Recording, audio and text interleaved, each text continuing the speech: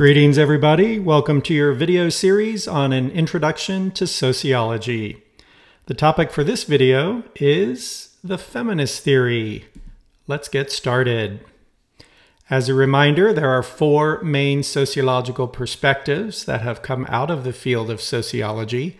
We started by discussing structural functionalism, then we moved into the conflict theory, symbolic interactionism, and we'll conclude this portion of our series with the feminist theory.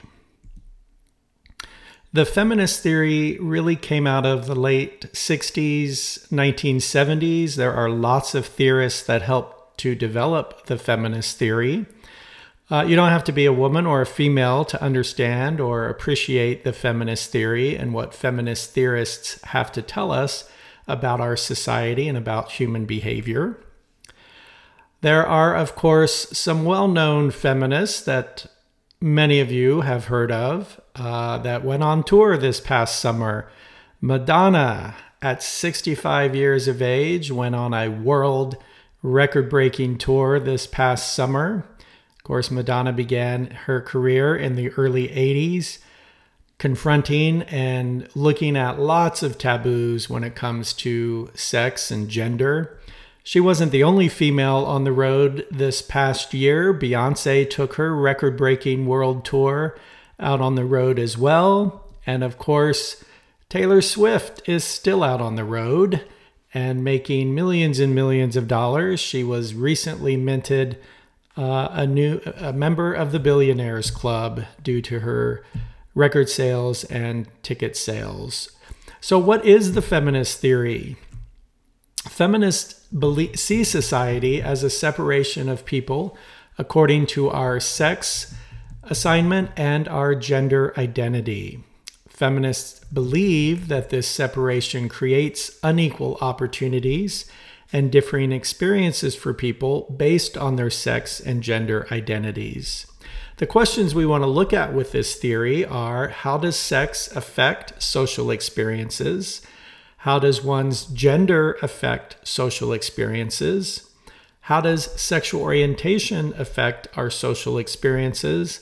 And lastly, how do these identities intersect in, in ways that again allow us to have an increase in opportunities or a decrease in opportunities? We have been looking at the issue of family throughout these four perspectives, so let's apply our feminist theory lens to the idea of family. How would a feminist look at family compared to a structural functionalist who is look, who is trying to identify functions and purposes to family? How does the feminist see family different from a conflict theorist who is looking at the potential for conflicts within family and at the macro level over the idea and definition of family itself?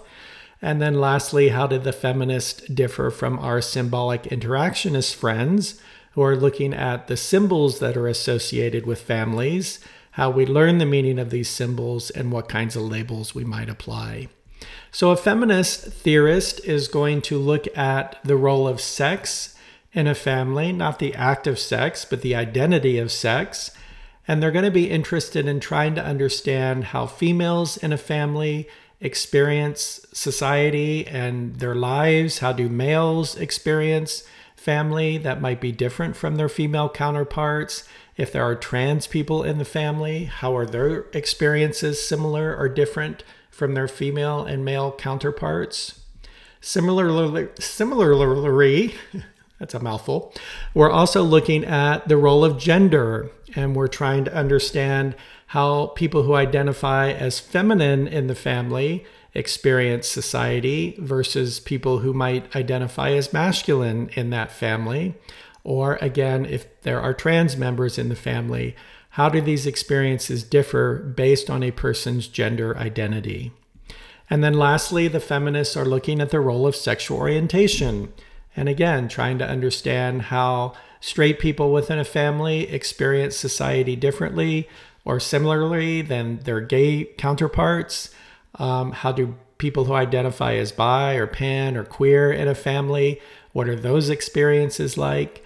So, from a feminist perspective, we're just looking at the, the identities that are associated with sex, gender, and sexual orientation, and trying to better understand what the experiences of people in a family are like based on their sex identity, their gender identity, and their sexual orientation identity.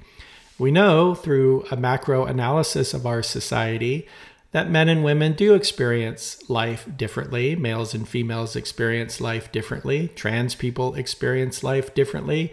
People who identify as feminine or masculine identify uh, experience society differently. Um, straight people and gay people have different experiences. Um, bi, pan, queer people all have unique experiences in our society.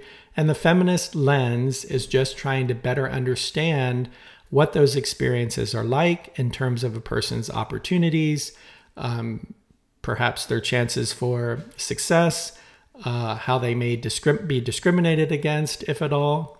And that's the feminist uh, perspective when it comes to looking at the issue of family. So, again, as a review, uh, feminists believe that society or see society as a separation of people according to their sex and gender identities, as well as their sexual orientation.